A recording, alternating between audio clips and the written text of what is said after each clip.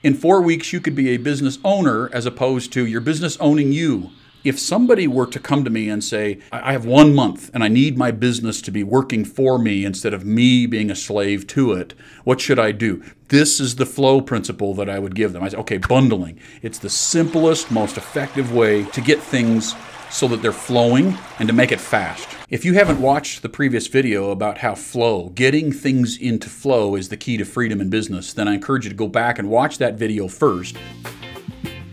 In the simplest terms, bundling is where you take something that you need to get done and you attach it to something that is getting done reliably and you just stick them together. Let me start with kind of a quirky example. Most mornings, my keys are in the fridge.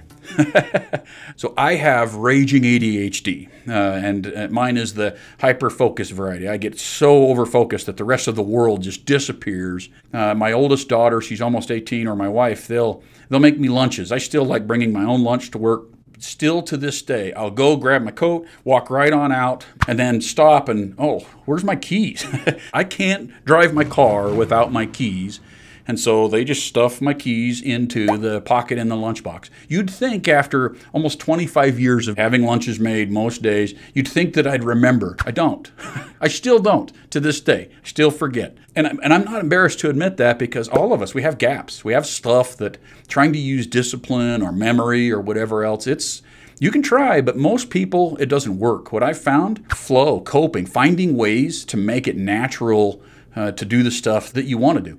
And so, as quirky as that is, I'll actually get into an actual real world business principle of bundling something. Uh, let me talk to you about my third bankrupt business that I acquired a wholesale lighting supplier. So, I've actually done multiple lighting companies. And I went in, and one of the first problems that I could see is that they were forgetting to invoice orders.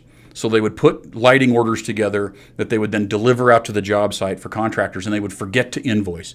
So I started poking around, one of the flow principles is go out and observe, watch what's happening. Don't assume, never assume. and it didn't take me long to figure out we're relying upon the delivery drivers to remember to create an invoice before they take a delivery. And they were forgetting. Many times they were forgetting.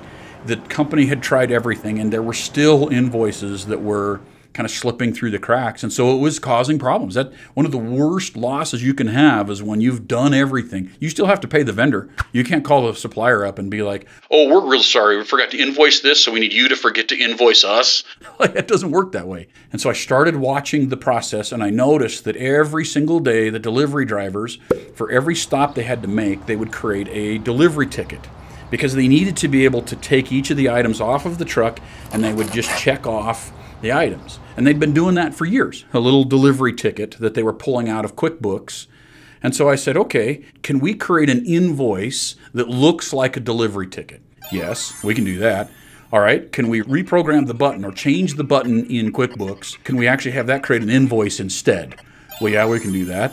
Okay, so that's what we did. We actually created an invoice that looked exactly like a delivery ticket, even called it delivery ticket, and then just changed the button that they were using to print their delivery tickets over to create an invoice, and then told them, hey, guess what? Forget about invoices. We don't need you to create them anymore. Just go create your delivery tickets and do your delivery. From that point forward, as soon as we bundled something that needed to get done with an uh, with a reliable process, we haven't missed an invoice since, not a single one. That's an example of using this principle of bundling. If you started today and picked one task, one you know a task that's aggravating uh, per week, and bundled it with something else, then in a month you'd surprise yourself at how much more energy and time you have to work on the business instead of in it let your irritation be your guide. The next time something comes up that's like, oh, I'm so sick of this, just start with that. I actually told one of my coaching clients, I said, I want you to take a little piece of paper, I want you to put it in your desk.